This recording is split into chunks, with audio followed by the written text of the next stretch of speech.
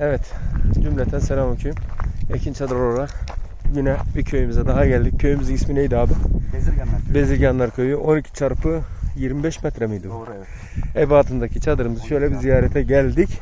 Hemen sorulara başlayalım. Kardeşimizden.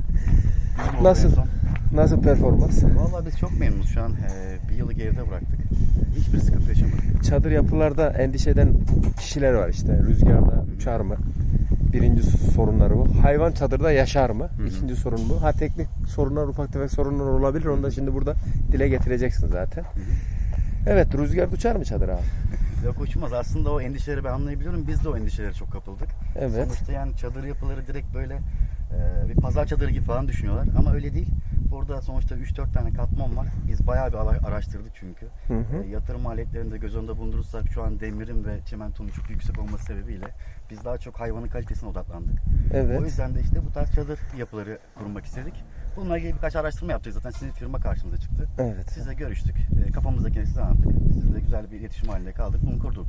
Şu an mutluyuz yani. Bir yılı geride bıraktık. Tamam. Burada çadır kurarken şurada rüzgar gülleri kurulmuş. Evet. O zaman yeni yapım Sizin aşaması. geldiğinizde bir sene öncesinde buranın işte projelendirilmişti burası. 14 tane rüzgar gülü konuldu. Yani bu dolayısıyla burası çok rüzgar alan bir bölge.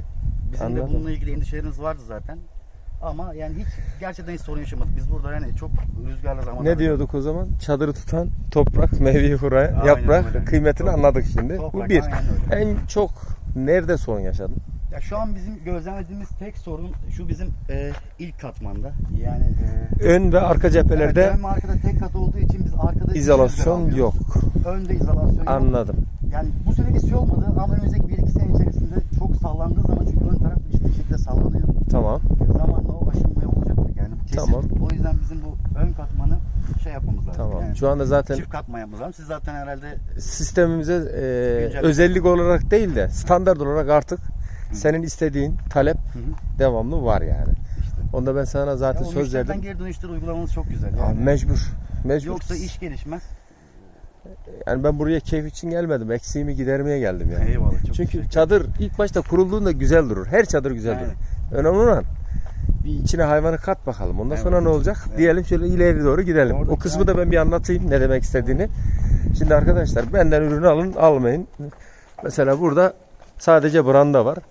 İşte gün geçtikçe modellerimizi güncelliyoruz diyoruz ya. Burada tek katman. Burada eee şimdiki ürünlerimiz hep eee, çift kat yalıtıma sahip. Arkadaşımızın istediği gibi, Orhun abimizin istediği gibi sistem aktif. Peki havalandırma nasıl? Sıcak soğuk. Hiç koku falan yaşamadık. Neden yaşamadın sence? Ya burası zaten rüzgar alıyor. Tamam. Aslında bu iyi bir Her çadır rüzgar almak zorunda aslında. Evet, Bina yanına rüzgar çadır alıyor. yapılmaz yüzden, mesela. e, bacalar falan e, çok uygun. E, yani koku yani burada asidoz hiç hissetmedik biz. Pencerelerin büyük olmasının etkisi sence? Onun da avantajı olabilir. Yani. Yani. işte yani şunu söyleyebilirim biz bir yıl sonunda gözlemlerimize baktığımızda Tamam. biz burada hayvanları sağlıklı bir şekilde üretebiliyoruz. Bunu bir yılda gördük. Çadırda hayvan Olabiliyor. yetişiyor. Evet gayet iyi. Tamam. Önümüzdekilerde nasıl olabilir bilemem. Bu benim sadece bir yıllık deneyimim. Hı hı. Ee, biz hani şu anki düşünceleriyle yani bu şekilde ilerlerse biz zaten e, bir 1000 metrekare ya da 500 metrekare daha Allah bu izin tarz verirse yerimiz de yapıları var. Düşünüyoruz. Çünkü daha çok hani cidden az önce söylediğim gibi yatırım maliyetleri çok yüksek. Yani e, daha çok hayvana yatırım yapmak çok daha önemli. Daha ve elzem mantıklı. oluyor. Bu işi de çadır kurtarıyor zaten. Çadır evet kurtarıyor ya. Yani öyle. Yapı ruhsatı gerektirmeyenler sınıfına giriyor. Mesela biz bu çadırda sana ne kullandık? 40'a 40 Hı hı. E, profil kullandık. Bunu Et tavsiye ediyoruz. Aynen. Aynen. İki buçuk milim. İki buçuk. Ya ben e, derdim şu. Benden ürün alsın almasın. Ben ürünü doğru anlatayım. Hı hı. İlla ki Türkiye'deki bütün çadırları ben yapacak değilim. Tabii ki. En canım. azından buradaki söylediğim e, senin de istediğin özellikleri iyi dinler not ederse hangi firmadan ürün alıyorsa onu talep etsin gitsin oradan doğru ürün alsın. Hat, pencerelerde dışarıda şey var İnşallah kullanmaya muhtaç olmamıştır. Hayvan girişini engelleyen, yabani hayvan engelleyen tel var diyorum. Şimdi hayvan kısmına geçiyoruz. Şimdi ne yapıyoruz burada? Ne işte meşgulüz? Ne üretiyoruz, ne satacağız? En önemli kısım bura bence. Süt işletmesi. e, Evet. Baktığımız hayvanların ırkılları. Mesleğin miydi bu senin geçmişten Hayır gelen? değil. Ben ben normalde beden eğitimi öğretmeniyim. Selçuk Tamam. Üniversitesi mezunuyum. Yani bu işlerde hiç hani ne babam yaptı bu işi ne aile kültürümüzde var. Bir dur orada. Benim Benim takip ettiğim kadar babam yaptı, aile kültürümüzde yok diyorum. Benim gözümde çok başarılısın diyorum. Devam et. ya bunun sebepleri şöyle olabilir. Üniversite 3. sınıfta ben araştırmaya başladım abi. Tamam. 3. sınıftan beri hani böyle direkt Yani biz yani şöyle söyleyeyim ben aslında işte, Google'da koyun yazdım devam et. Aynen, Google'a direkt koyun nedir yazdım çünkü hiç hani iç aile kültürümüzde yok. Aynen. Koyunun fizyolojik özellikleri, anatomik özellikleri, işte koyunun davranışları falan. Bununla ilgili sürekli incemelerde bulundum. Üniversite 3. sınıftan beri sürekli bunu araştırdım. Ee, devamında işte bununla ilgili test çalışmaları, e, yerli ve yabancı. İşte o yetmedi bizim burada yerel üreticiler, gerek profesyonel çiftlikler. Onlarla gittim görüşme sağladım. Yani sürekli bilgi toplamaya çalıştım. Ondan sonra e, 7 tane koyun, 15 tane kuzu aldım. Geldim He, buraya. dur. Sen ilk önce hemen çadırcıya çadır siparişi vereyim Ay yok yok. Yani demedin yani. Aynen, Tamam. Bir kendini test ettin önce. Şöyle ki emeklemeden yürünmez. Yani bu çok doğru. Her Tamam. meslek dalında Çok bence güzel. böyle. Bu bilgi iyi oldu. İşi böyle en temelinden e, gitmek lazım. Ben de aşama aşama hani bir iş kurulurken ne yapılması gerekiyorsa ben de onları Tamam. yapmak istedim. Gittim işte 7 koyun 15 kuzu aldım. Bir sene boyunca işte onları yetiştirdim. İşte aşılamalarını doğum yapmayı öğrendim. İşte bununla ilgili yani sürekli sürekli öğrenmeye devam ediyorum. Hatadan yani tutup sürüyü kurmadın yani. Yok yok yani zaten o zaman bu sürdürülebilir bir şey olmaz. Ee, o yüzden hani ben hayatım boyunca böyle hani e, bir şey yapıyorsam en iyisini yapmaya çalışıyorum. İşte bu işte de böyle. Tamamen evet ben bunları planladım. Lagun ırkını çok daha önceden biliyordum. Bundan belki 5 sene önce falan biliyordum. Yani o üniversite zamanlarından beri biliyordum. Türkiye'de yoktu. Hı hı. Tamam iş tanımı belli ama direkt ben lakun hayvanları getirip de burada beslesem sıkıntı yaşardım. O yüzden işte step by step yani adım adım ilerlemeye çalıştım. Tamam kademe kademe. Kademe kademe ilerlemeye çalıştım. O şekilde e, şu an Peki için... niye nakun? Efendim? Neden? Niye? Ya, Nasıl? Şöyle ki e, Lagun'un süt verimliliği çok güzel ve laktasyon süresi çok iyi.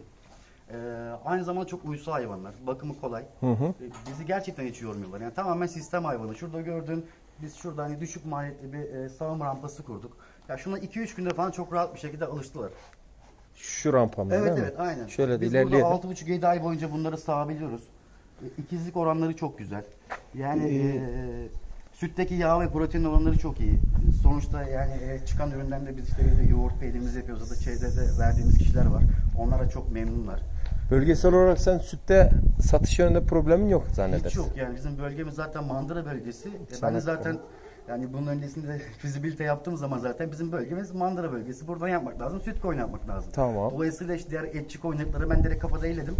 E, o yüzden süt ırkları zaten deyince aklımıza kaç tane geliyor? 3-4 tane koyuyoruz. İşte İşte. Tahir ovalar, işte asaflar, lakun, Lakun. ya da işte Z- yerli Zıvaples koyunlardan var işte, o var, tane. birkaç yani tane. evet işte yani baktım sakız koyunlarına e, şimdi e, seleksiyon tamamlanmış bir 100 tane 100 adet bir şey bulamıyorsun. Yani Ya da işte Tahir Ova bakıyorsun seleksiyon tamamlanmış bir 100 tane hayvan bulamıyorsun. tamam. O yüzden biz de e, bir ithalatçı firma aracılığıyla bunu yurt dışından getirdik. Hı hı. Onlar da çok, çok sağ olsunlar. E, onlar da bizi iyi anlar, iyi esnaflar. Evet aynen. E, bu hayvanları biz e, Lakun birliklerinden getirdik. Kaç lakonun var şu an? Şu an 100 tane e, sağmalı hayvanımız var. Doğum oldu mu? Oldu tabii. Bir sezon geçirdik. E, Nasıl? sattık. Çok memnunuz. Maşallah. Yani borçlanmaları dışarıda Heh. olmasına rağmen 1.78 gibi bir oran aldık. Sattık dediğin zaman e, sen burada kuzularda damızlık olarak satışı Evet. devam, ediyoruz. edeceksin. Aynen. Yani Buradan bir de iletişim numarasını yaz da. e, bizim sitemiz var Facebook'ta. Tamam söyle Orkun isimleri. Önder, e, Eskimez Çiftlik diye girerse bulabilirler. Orkun Önder Eskime, Eskimez Çiftlik diye. İleride YouTube kanalı da olur alırsınız zaten. Ya ileride işte ben de YouTube kanalı açmak istiyorum ama az Tamam. önce söylediğim gibi böyle hani YouTube kanalı açacaksam hani iyi bir şey yapmak istiyorum. Bununla ilgili birkaç ekipman toplamak istiyorum. Hani Hı hı. şimdi böyle çok amatör bir şey olmasını istemediğim Tamam. için başlamadım. O şekilde üretime devam ediyoruz yani. Tamam çok güzel. Şu anda e, ilk herhalde bunlar ilk geldiğinde ilk kuzularını attılar. Hı hı. Nasıl verim nasıldı? İşte 1.78 oran aldık. Bu bizi, bizi çok mutlu etti ve çok borçlanmaları dışarıda olmalarına rağmen. İnşallah e, bu sene işte e, çok daha onları biz İkizlikteki orandan mı bahsettim biraz Evet, evet. Süt oranı Süt oranı e, bizim İlk sürümüzün kuzuda zayıf olur da. %70'i falan e, ilkine doğum. Hı İşte hı. 291 295 litre gibi düşünebilirsiniz yani laktasyonda. Ama bu hayvanların içerisinde işte yani üç, çok rasyonel lakun dinleyince 300 litre ve üzeri çok ben rahat en kötü bir hesap yani. yaptım. Kendimce yani yani senin gibi denemeden en kötü 200 litre alıyorum yine karda. Ya evet evet yani, e, Yani. çok e, güzel bir iş. Sonuçta burada bir üretim yapıyorsun. E, biz bir de kapalı yapıyoruz bunu.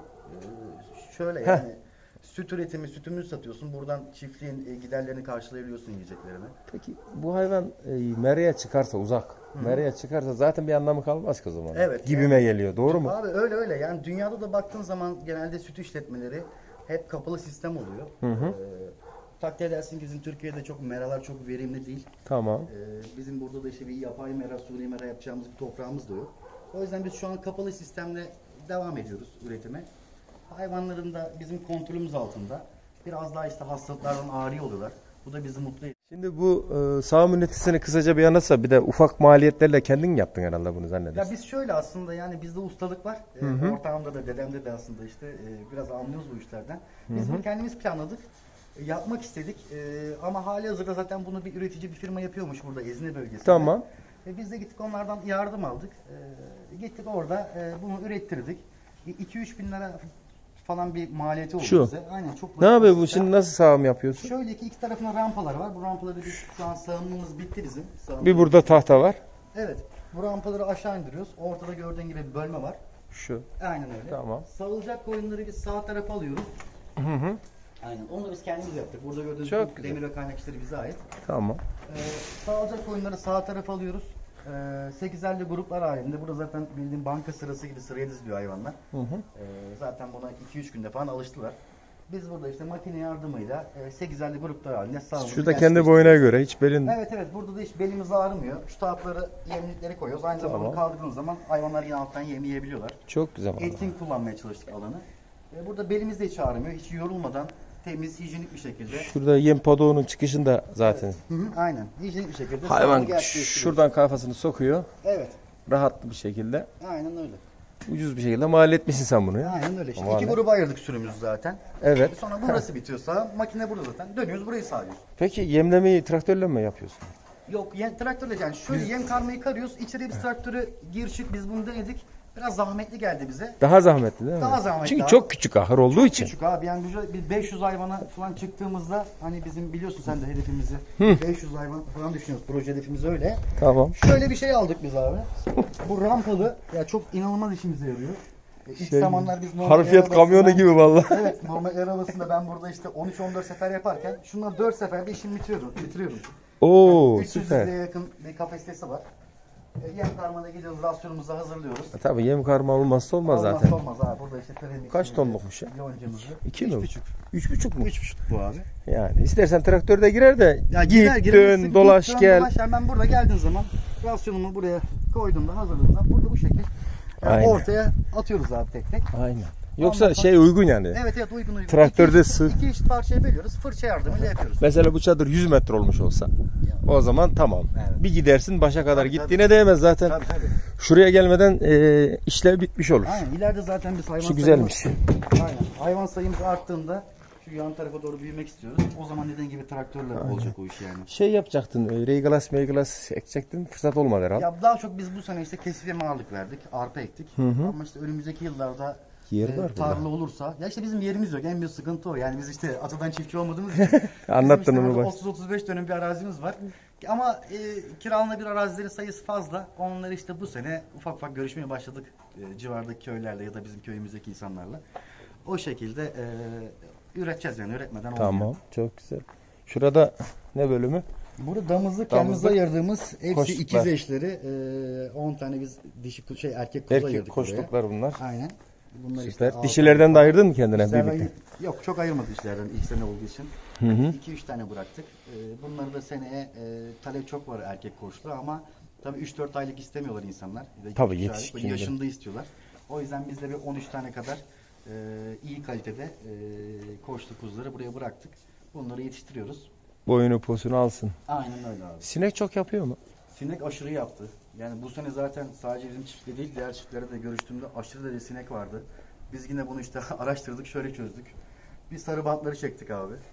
O birazcık azalttı. Bir de şurada göreceksin. Anlat da bir şey anlatacağım sana. Bak şu torbalar var gördün mü? Sinek tuzağı geliyor bunlar. Tamam, biliyorum evet. Ondan kullanıyoruz inanılmaz. Yani biz onlarla binlerce sinek yakalıyor.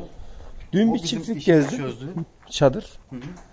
Eski diyor eee, binadan olan ahırda diyor sinekten geçmiyordu. Bu çadıra geçince diyor sinek yok diyor.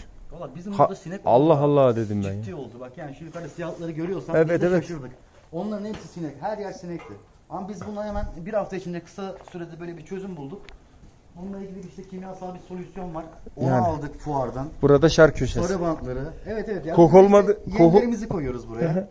O şekilde burada e, kesip Kısa ara molalarda dinleniyorsun, oturuyorsun orada. Aramalar dinleniyorum işte doğum olduğu zaman çıkıyorum işte şu koltukta oradan bakıyorum işte çiftliğin içine. İçeride de koku yok da rahatsız etmez abi. Evet evet koku, Koku olmadığı olmadığı için için- durulabiliyor. Aynen. Ben burada 20-25 gün falan hep doğum zamanları burada yatıp kalkıyorum yani. Düşün bak eksi sekizler falan vardı. O kadar soğuklar var. Şöyle çadırın etrafını bir gezelim. Şöyle. Mesela şurada tel patlamış. Neden patladı bu tel? Valla bir fikrim yok. Orada herhalde. Bir hayvan müdahalesi mi oldu acaba? Şurada matkabı var değil mi? Şunu çıkart geri altına koy sık. Şimdi toprağa bakalım erime var mı? Toprak oturma yapmış artık erime yapmaz. Koyunlar da gezindikçe böyle iyice oturdu toprağa. Değil mi? Doğru. Etrafında. Beton gibi oldu. Olay bu işte. Yok. Peki hayırlı uğurlu olsun. Allah utandırmasın. Çok teşekkür ederim. Selametler dilerim. Allah, Allah razı olsun. Mevlam işini, gücünü, aşını Amin. bereketli kılsın. Çok teşekkür ederim. Sağ olun. Biz teşekkür ederiz.